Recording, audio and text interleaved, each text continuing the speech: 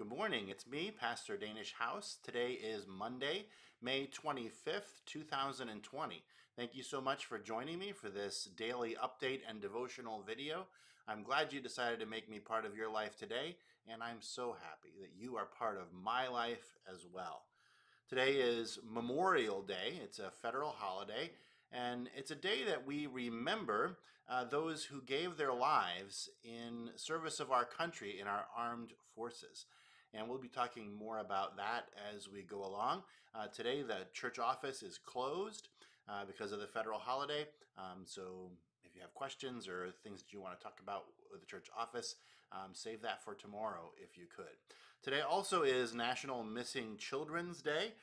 So let's uh, all be in prayer for those children who are missing today and, and who are, need to be found um, by, uh, by their families.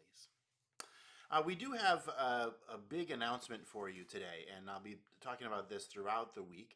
Um, but that announcement is this that we have found the place that our church will be worshiping together when we're able to gather again worshiping together uh, at from the time from the time when we're able to start worshiping up until the time when our building is rebuilt at 35 DeGarmo Road.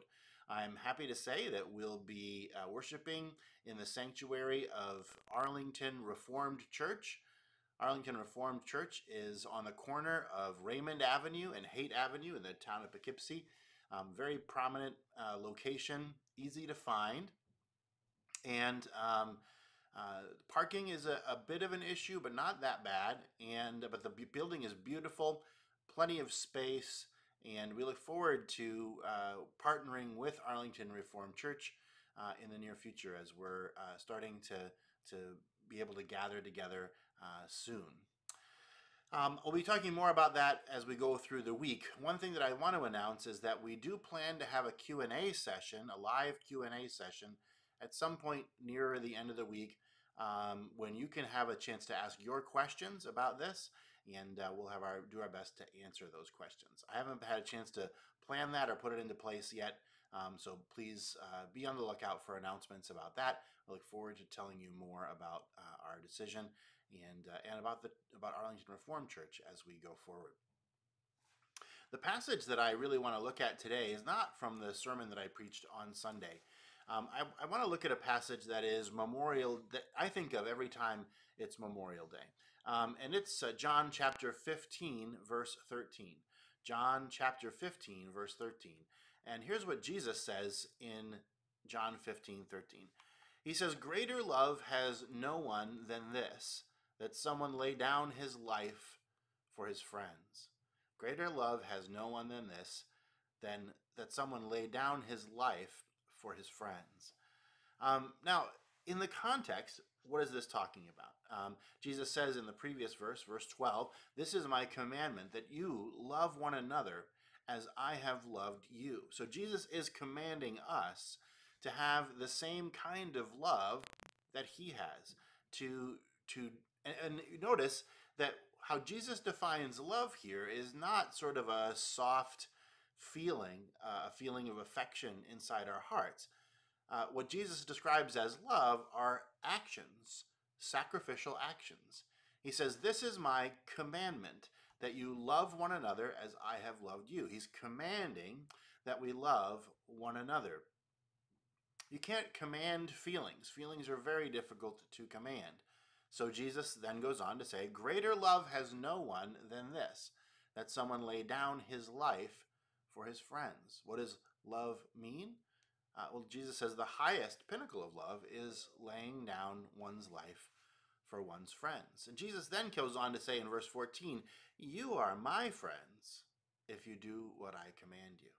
Now, notice, uh, Jesus is linking now the notion of being friends uh, into the previous verse. He's saying, uh, in essence, he's saying, I am going to lay down my life for you because of my great love for you. I'm going to demonstrate my love for you, Jesus is saying, by laying down my life for you. And of course, we believe that the pinnacle of love is found in Jesus uh, giving his life for the salvation of his friends, of all those who would trust in him.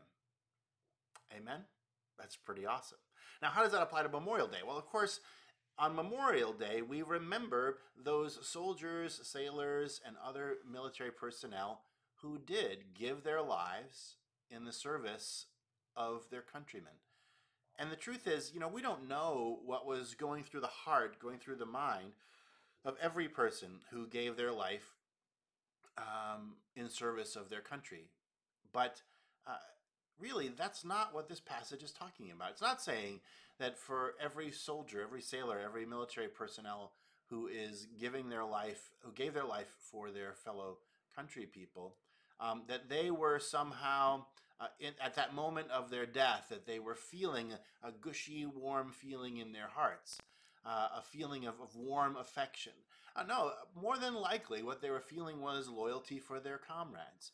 More than likely, what they were feeling was maybe a little fear. More than likely, they were feeling um, a whole host of emotions. Those emotions are not what's at issue here. What it's what's at issue is their behavior.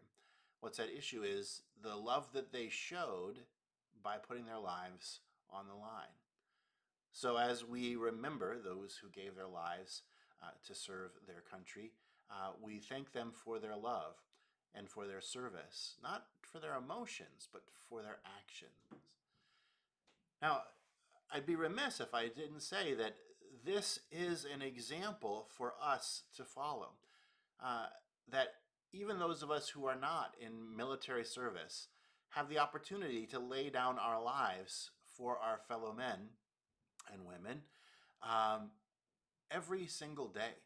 We have the opportunity to show our love for other people. Yesterday, I talked about how uh, we must not give in to a spirit of sneer, right? Looking down on those around us uh, for one reason or another. Um, but we need to instead demonstrate our love by laying down our lives for one another, being willing to sacrifice our lives, being willing to sacrifice our priorities, being willing to sacrifice even our very existences in order that uh, other people may be loved and blessed. It's a tough thing. It is the road of self sacrifice, and it is the road that Jesus calls us to. It's the road that we remember today as we remember those who gave their lives in service of our country. And it's the road that we as Christians must strive to follow each and every day. Let's just take a minute now and reflect on the self sacrificial love of Jesus and to remember those who followed that path in laying their, down their lives to protect our freedom.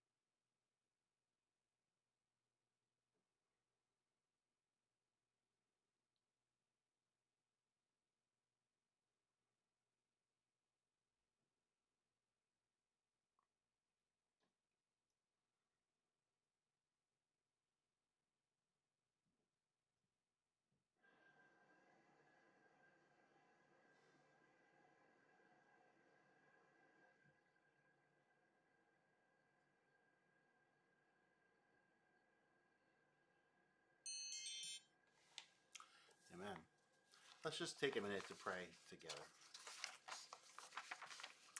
Heavenly Father, we thank you for, first of all and foremost, for Jesus. Jesus, who loved us so much that he gave his life that, he, that we might be saved. Uh, Lord, we know that greater love has no man than Jesus displayed by laying down his life for us. Lord, I am so grateful for the sacrifice of Jesus in securing my freedom uh, from sin, my freedom from guilt, uh, and securing my freedom to live as a citizen of your kingdom. And Lord, I am grateful that uh, for the men and women who gave their lives in service of my country. I am so grateful for the freedoms that are afforded by living in the United States of America, the freedoms that are protected um, by men and women in our armed forces, the freedoms that are protected each and every day by our citizens uh, who love freedom and who love one another uh, in sacrificial ways. And Lord, I thank you for our church, which loves one another sacrificially as Jesus commanded. I thank you for our church where we lay down our lives for one another day after day. And it's only in the context of life in the congregation, in the body of Christ, that we learn how to lay down our lives for one another day after day. Lord, I pray for the opportunity to regather. I thank you for Arlington Reformed Church, which is opening their doors to us as a place that we can gather when we're able to gather and worship you together. Lord, I pray that you would help us as we ramp up our plans to move into that space, as we uh, prepare for all of the things that come with that. Um, Lord, and as we move towards uh, the situation where our church building is being rebuilt, Lord, we pray for your grace for the rebuilding. Lord, we lift up to you uh, all the folks who are struggling with coronavirus today, all those who are uh, sick. Lord, we pray for uh, Watawa Rogers' sister who is recovering from coronavirus.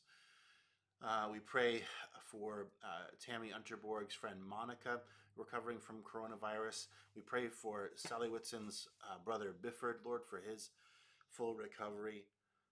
We pray for those who are struggling with cancer, excuse me, including Brian Gerberick and Mark Gallo. We pray for Shirley Henry, Lord, for her uh, recovery from cancer as well.